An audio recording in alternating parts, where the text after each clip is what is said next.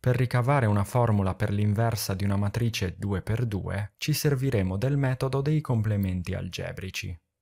Data una matrice A, quadrata di ordine 2, la sua inversa, che indichiamo con A elevato meno 1, è una matrice che si ottiene moltiplicando il reciproco del determinante di A per la trasposta della matrice dei complementi algebrici si vede chiaramente che, affinché una matrice ammetta inversa, il suo determinante deve essere diverso da zero, cioè la matrice non deve essere singolare. Infatti, se così non fosse, 1 fratto determinante di A sarebbe una frazione con denominatore uguale a 0, quindi una frazione non definita. Abbiamo parlato di complemento algebrico, conosciuto anche come cofattore. Questo è un determinante che si ottiene eliminando dalla matrice la riga i e la colonna j.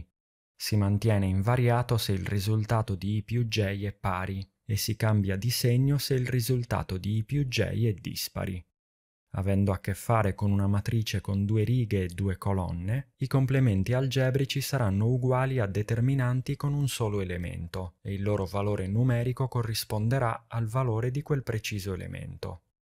Ricaviamo ora la formula per l'inversa di una matrice 2x2, della quale abbiamo denominato gli elementi A, B, C e D rispettivamente. Calcoliamo per prima cosa il determinante. È un procedimento molto semplice. Si tratta di moltiplicare tra loro gli elementi della diagonale principale, in blu, e sottrarre il prodotto degli elementi della diagonale secondaria, in rosso.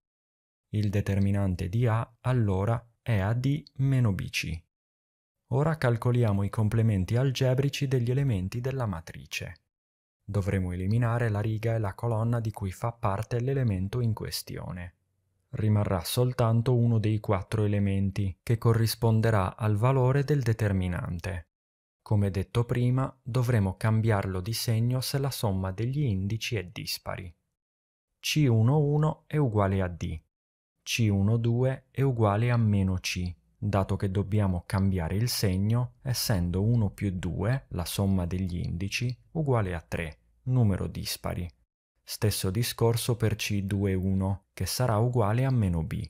C22 è uguale ad A. Questi elementi formano la matrice dei complementi algebrici degli elementi di A. Adesso possiamo scrivere la formula per l'inversa di una matrice 2x2, formula che useremo per risolvere gli esercizi nella parte pratica.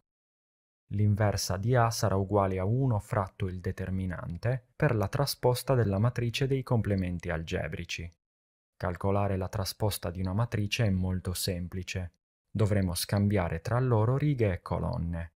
La prima riga della matrice dei complementi algebrici è formata dagli elementi D e C questa diventerà la prima colonna della matrice della formula. Stesso discorso per la seconda riga, formata da meno b ed a, che diventerà la seconda colonna. Questa è la formula dell'inversa di una matrice 2x2, ma bando alle chiacchiere e vediamo gli esercizi pratici.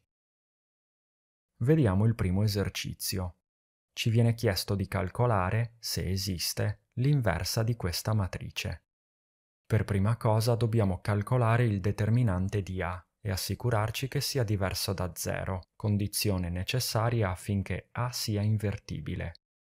Allora, calcoliamo il prodotto degli elementi della diagonale principale, 1 e 3, e sottraiamo il prodotto degli elementi della diagonale secondaria, 2 e 1. In pochi semplici calcoli otteniamo il valore 1, diverso da 0 e questo ci assicura che A è invertibile. Applichiamo la formula per calcolare l'inversa. Avremo 1 fratto il determinante che abbiamo appena calcolato per la matrice formata dagli elementi D, meno B, meno C e A rispettivamente. Per ricordare com'è fatta questa matrice, possiamo notare che, data la matrice di partenza, dobbiamo scambiare tra loro A e D e cambiare i segni di B e C. Per completare le operazioni dovremmo moltiplicare 1 fratto 1 per la matrice, ma dato che 1 fratto 1 è uguale a 1, la matrice rimarrà invariata e sarà l'inversa di A. Verifichiamo questo risultato. Per farlo possiamo ricordare che il prodotto tra una matrice e la sua inversa è uguale alla matrice identità dello stesso ordine. La matrice identità è una matrice quadrata che ha tutti gli elementi della diagonale principale uguali a 1 e gli altri uguali a 0. Ricordiamo anche che il prodotto tra una matrice e la sua inversa gode della proprietà commutativa. Il prodotto tra matrici, in generale, non è invece commutativo. Svolgiamo il calcolo moltiplicando le due matrici, A e la sua inversa, righe per colonne. Per approfondimenti sul prodotto righe per colonne vi rimando al mio video sulla moltiplicazione di matrici. Trovate il link in descrizione. Il primo termine della matrice prodotto sarà il risultato del prodotto tra la prima riga di A e la prima colonna della sua inversa. Si sommano i prodotti delle componenti che occupano le stesse posizioni, quindi 1 per 3 più 2 per meno 1. Moltiplicando prima riga e prima colonna otteniamo l'elemento in posizione 1, 1 della matrice risultato. Il resto degli elementi si ottiene con calcoli analoghi. Il risultato che otteniamo è proprio la matrice identità di ordine 2, il che ci conferma che l'inversa calcolata è corretta. Nel secondo esercizio la matrice ha elementi frazionari. Per prima cosa calcoliamo il determinante. Ricordiamo ancora una volta il procedimento. Dovremo calcolare il prodotto degli elementi della diagonale principale, in blu, e sottrarre il prodotto degli elementi della diagonale secondaria, in rosso. Svolgendo i calcoli otteniamo meno 3 quarti più 3 quarti. Possiamo cancellare i due termini, opposti tra loro, ottenendo come risultato 0. Come abbiamo detto all'inizio, una matrice con determinante uguale a 0 si definisce singolare e non ha inversa. Allora, questa matrice non è invertibile. Vediamo ora come sfruttare l'inversa di una matrice 2x2 per risolvere un sistema lineare di due equazioni in due incognite. Iniziamo il discorso parlando della forma matriciale di un sistema. Dato un sistema di due equazioni in due incognite in forma normale, cioè con le incognite ordinate a primo membro e i termini costanti a secondo, possiamo scriverlo nella forma matriciale A per x uguale k chi sono A, X e K? A è la matrice 2x2 che ha come elementi i coefficienti delle incognite delle due equazioni.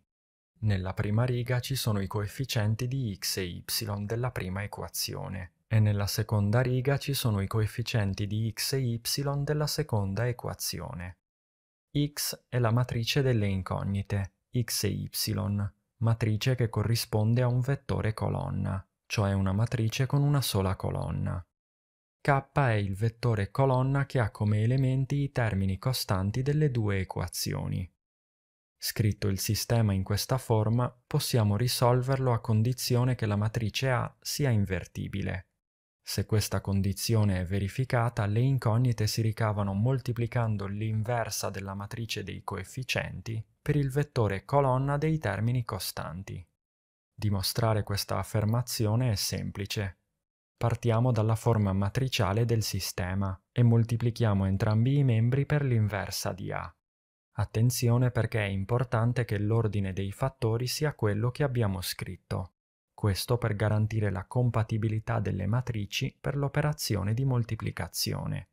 Infatti, possiamo eseguire a elevato meno 1 per k, ma non si può calcolare k per a elevato meno 1 dato che le due matrici non sono compatibili per la moltiplicazione in quest'ordine.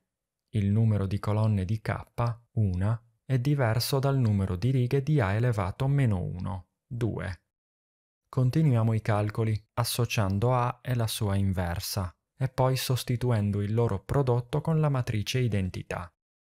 Il prodotto tra i e x, per le proprietà della matrice identità, è uguale alla matrice x, questo conclude la dimostrazione.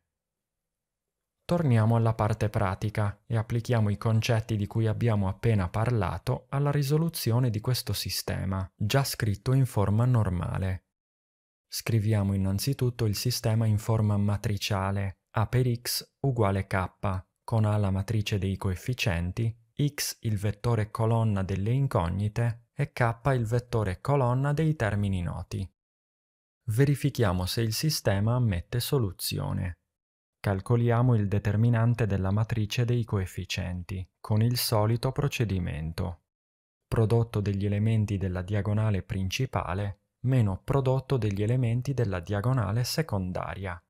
Il risultato è meno 36, diverso da 0. Allora A è invertibile e il sistema ammette un'unica soluzione. Calcoliamo l'inversa di A applicando la formula e sostituendo i valori numerici. Dovremo moltiplicare meno un trentaseiesimo per ogni elemento della matrice. Dopo aver fatto le necessarie semplificazioni, otteniamo quella che è l'inversa di A. Adesso siamo pronti per ricavare le incognite, moltiplicando l'inversa di A per il vettore colonna dei termini noti. Come sempre, dobbiamo svolgere il prodotto righe per colonne, Ricordiamo ancora che ogni elemento della matrice risultato sarà dato dal prodotto di una riga della prima matrice per una colonna della seconda matrice. Per esempio, il primo elemento sarà dato dal prodotto di prima riga dell'inversa di A e prima e unica colonna del vettore dei termini noti. Dobbiamo sommare i prodotti dei primi elementi e dei secondi elementi delle righe e colonne corrispondenti dovremo sommare il prodotto di meno 2 noni e meno 8 al prodotto di un nono e 20, ottenendo 16 noni più 20 noni. Stesso discorso per il secondo elemento. Facciamo le necessarie semplificazioni. Completare i calcoli è semplice, dato che le frazioni hanno lo stesso denominatore. Semplificando otteniamo i due valori delle incognite. Allora x uguale 4 e y uguale meno 5 è la coppia soluzione di questo sistema. Grazie per aver visto questo video. Se ti è stato utile, clicca mi piace, iscriviti e commenta se hai un dubbio riguardo a questa lezione. Ci vediamo alla prossima e buono studio!